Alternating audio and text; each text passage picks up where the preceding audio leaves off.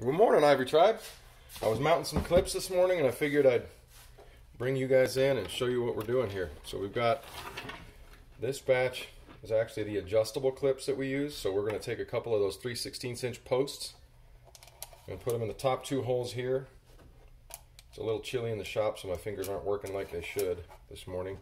And then take the prepared clip that already has the screws in it and then you want to drop the top post out so that you have to ruin the video by putting it back in and taking too much time because you couldn't keep your finger in one spot. So yeah, so that's the, the mounting of one of the clips.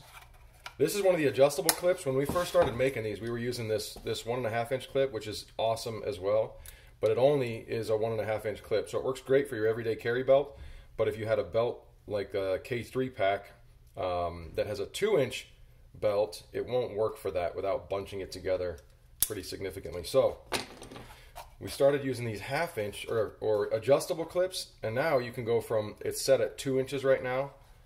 You can go from two inches to an inch and a half. To uh, if you took this all the way out and just left it out, you could actually go to two and a quarter inches.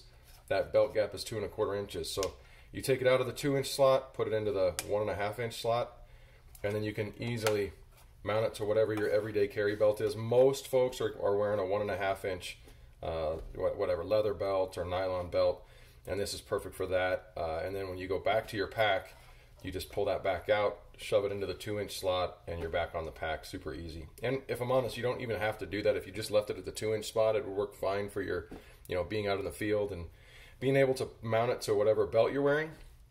Um, but if you want just that really nice snug fit, this is the way to go about it. So I just wanted to go over the kind of the features and then how we mount those as we're going on this morning throughout our day. So I appreciate you watching. It's just a it's a happy little holster. It's happy. It's getting more happy because it's got two clips on it now. Just a, a happy little holster for a Glock 26. Thanks for watching.